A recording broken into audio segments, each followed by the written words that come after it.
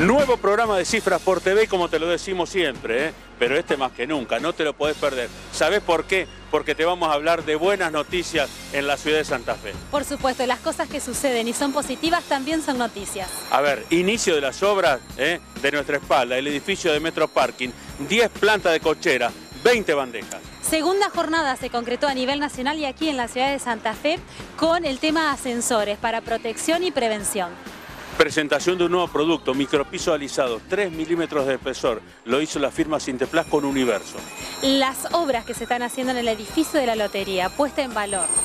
Y la presentación del nuevo certificado catastral. Todo eso, las buenas noticias en la ciudad. Cifras Litoral, el portal, nuestra radio y mucho más. Sí, mucho más, no te lo puedes perder. ¿eh? Este programa, imposible de perdértelo.